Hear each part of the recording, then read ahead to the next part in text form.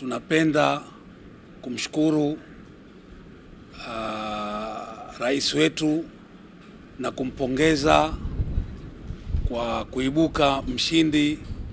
katika kinyang'anyiro cha urais, na twawaomba raia wa Kenya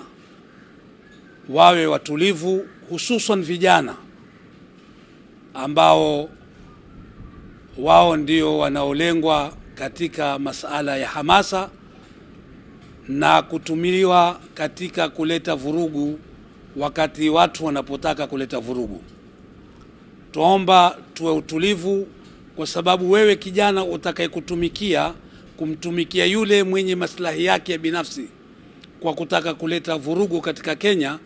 ujue na wewe kukiharibika, na wewe pia umeharibikiwa.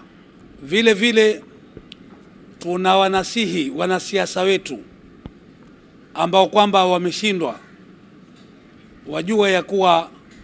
katika uchaguzi na katika mashindano yoyote kuna kushinda na kushindwa, na yule mwenye hikma na busara na ambaye ni mwadilifu wakati anaposhindwa ni kukubali ya kuwa mimi nimeshindwa. Kwa hivyo ikiwa hata observers wenyewe wamekubali ya kuwa uh, uchaguzi election imepita na imekuwa free and fair. Kwa hivyo twaomba wakubali